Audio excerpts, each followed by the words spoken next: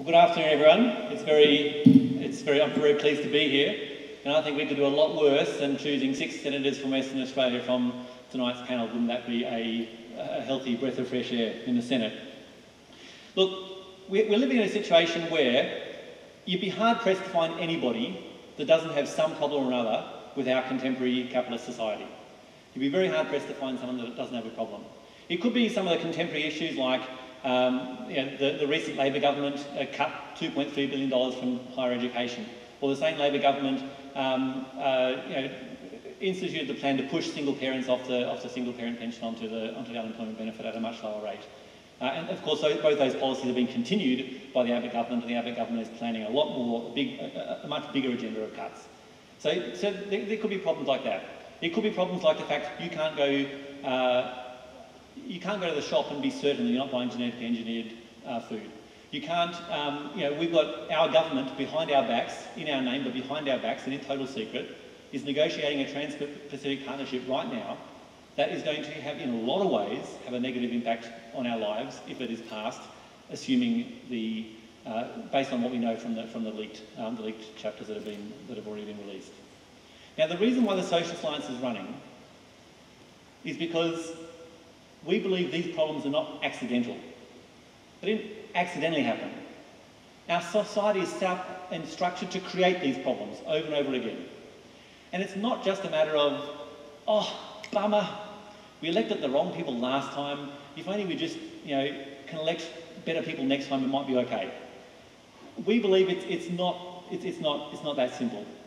We believe the problem that we have got, the reason why Labor and Liberal governments are failing us over and over again is because of a corporate power structure which permeates this society and our whole electoral process is corrupted by money.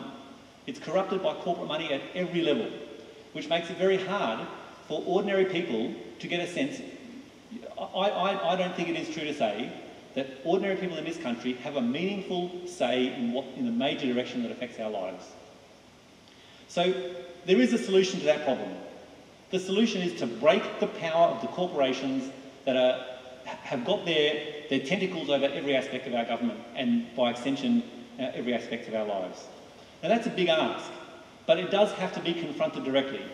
And I, and I forgot to mention at the beginning when I was talking about the problems, I mean, to me, I think the biggest problem that we face is, is the question of you know, global warming and potential runaway uh, climate change. And this is a classic example of a major issue that, that, that is already affecting people today and will affect all of us in our lifetimes. And it's not, I, I don't, it's not, not an exaggeration to say that this threatens our civilization, if not even the continuation of our species. It's a big issue. We've known about it for decades. I, I first became an activist a couple of years before the 1992 Earth Summit, when at that time it was the largest ever heads of, heads of, gathering of heads of state in the world. And the, the conclusion of that 1992 Earth Summit is global warming is real. It's a real problem. We need to start reducing emissions. 1990 was set as the baseline. We're going to reduce emissions from 1990 levels. Every country in the world, every country that's dominated by this sort of pro-corporate capitalist model went away and ignored the decisions of that summit.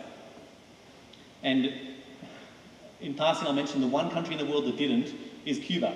And I think there is a reason for that. It's because Corporations don't rule in Cuba, but I'm going to leave that aside for now. Our, our plan, our plan, how do we actually go about this process of breaking the power of the, of, of the corporations that are controlling our lives? Step one, we say in Socialist Alliance, is to bring the mines and banks, these monopolised sectors of the economy, out of private hands and into public ownership, democratic public ownership. And there are three main reasons why we need to do this. Number one, these these industries are creating a phenomenal amount of wealth. And we need that wealth. We need that wealth to fund hospitals. We need that wealth to fund schools. We need that wealth to fund renewable energy. We need that wealth to fund the things that we need in our society.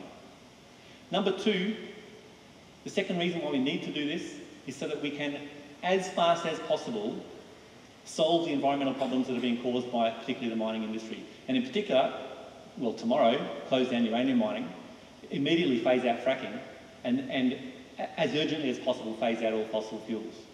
And, and the third reason why we need to take this plan is for basic democracy, so that citizens have actually got control of our society.